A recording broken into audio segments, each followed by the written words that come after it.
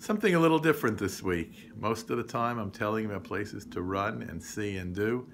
This week, we're talking about sitting down, having a drink, and gazing out at the beautiful city around you. We'll start at Rockefeller Center at 30 Rock, that 30 Rock, uh, of the famous TV show, home of Saturday Night Live. That beautiful Art Deco building, which is constantly re restored and maintained.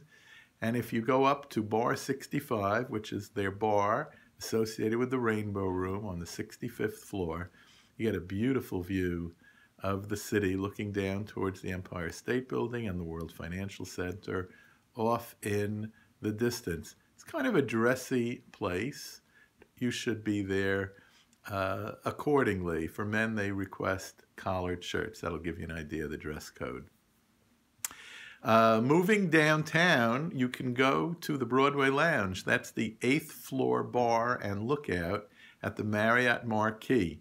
What I like about that location is that you're getting the view you would get if you watch New Year's Eve on television at home looking at Times Square. You're eyeball to eyeball with all of the neon signs. You're low down. You're really seeing the city streets, the city scene beneath you and you are in this very busy and exciting confluence of Broadway and 7th Avenue.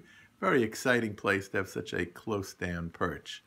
Uh, if you're looking for something higher up, go a block or two further uptown, and the Hyatt has its club, I'm sorry, Bar 54, which is uh, their lookout bar on the 54th floor. It's a much newer building, not quite the same history that 30 Rock has. But if you have theater tickets, both of these locations, the Bar Lounge and Bar 54, are perfect because you're right in the theater district. You can get something before or you can get something after. Finally, 230 Fifth Avenue, that's Fifth Avenue and 26th Street, right next to Madison Square Park.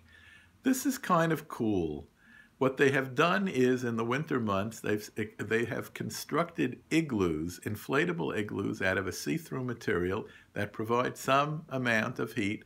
Each of the igloos holds between 8 and 12 people, so unless you're a group of 8 or 12, you'll be in the igloo together with some newly made friends. But it gives you that indoor and outdoor experience. You're a little bit closer to the downtown World Financial Center and those sites. And I think you'll find that this is probably the most, uh, you know, youthful, energetic of the four locations.